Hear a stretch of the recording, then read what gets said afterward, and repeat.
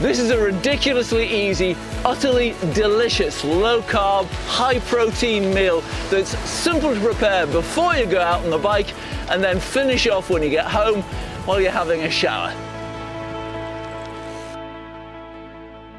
It comes from this book, The Green Roasting Tin, and there's a link to Amazon in the description. It's very good. You'll need three leeks, a packet of pre-cooked lentils, creme fraiche, feta cheese, a little butter, garlic, and some breadcrumbs. Ours are in that jar. Get the fan oven onto 180 and get a big casserole dish like this IKEA one. Chop the garlic, then chop the leeks into half moons. All that goes in the dish.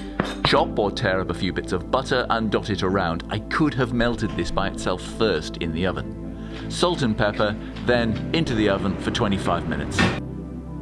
When the leeks are soft, spoon in the sachet of lentils. These were tomato flavoured, but Puy lentils are probably nicer. Mix through a spoonful of creme fraiche. You want it to be creamy, but not gloopy.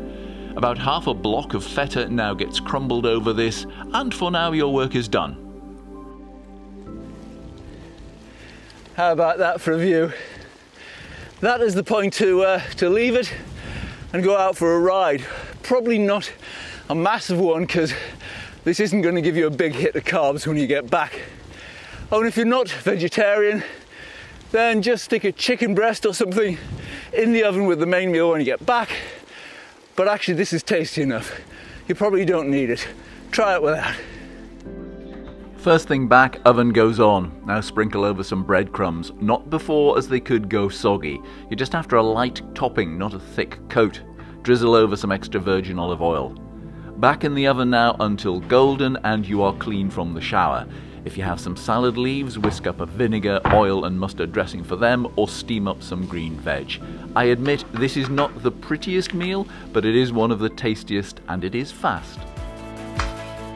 So try it. I promise you it is both easy and tasty. And there's a lot more of them in the book that I mentioned. There's a link to buy that on Amazon in the video description.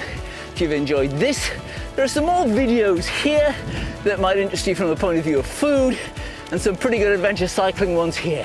Give them a try and I'll see you again next time. Bye.